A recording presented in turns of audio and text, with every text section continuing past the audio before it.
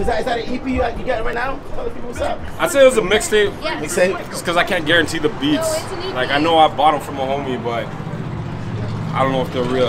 Uh, so what's the plan? What's the plan with the with the, the mixtape? What's the vision? What's the After I worked this hard on it, I just want to put the promotion behind it now. The person who inspired me the most, Bryson Tiller.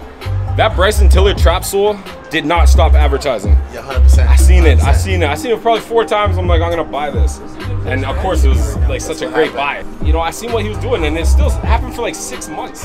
He didn't stop promoting it. So I think a lot of people build a body of work, put it out, and then walk away from it. I say, I nah. I, I like this body of work. I'm gonna push the body of work. And then shout out to you for calling the DJs. They forget people forget about the DJ. For sure, for sure. Trying to get the shit played. You know? I got you. I got you. I, I think got that's key, man. I got you. I got you.